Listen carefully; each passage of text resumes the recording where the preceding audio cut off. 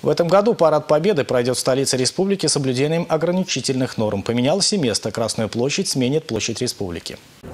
9 мая по-прежнему сохраняет статус главного государственного праздника. Великую Победу будут отмечать во всех городах и районах. В рамках празднования Дня Победы в Чувашии в этом году планируется проведение почти двух тысяч мероприятий. Чтобы сохранить здоровье пожилых людей, ветеранов войны и тружеников тыла, им рекомендовано смотреть Парад Победы по телевизору. Его будет транслировать национальное телевидение Чувашии. Самих же участников хотят протестировать на наличие COVID-19.